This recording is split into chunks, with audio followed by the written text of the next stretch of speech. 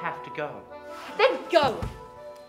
I want to ask you if you'll meet me in the barn tonight. For what? Why? There's.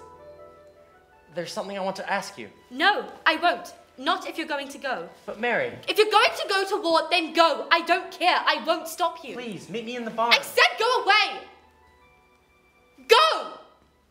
And I think one of the things that was really important to me when I was thinking about casting was I wanted to cast as young as possible. It's a play about two teenagers and first love and so on. There wasn't anything there. Ah, well, maybe tomorrow or the next day. You know how slow the mail is. There won't be any more letters. Sure, there will. I just, I'll write you all the time. I just promised. The style of it is something that, that appeals to me very much in that it's not a naturalistic play. It's got a kind of a surreal, dreamlike quality to it, which I, I really enjoy. We've got lots of time. That's what you wanted to say to me?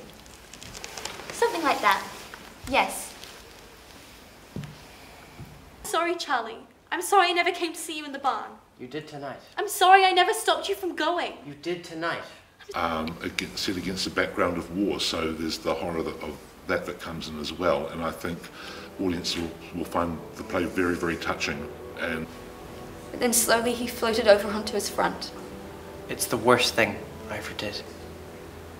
at no interval on this one, it runs around about an hour and a half.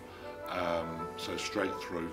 I don't think I'd call this a First World War play as such, although it's set against the background of the war. Uh, really, it is a, it's a love story.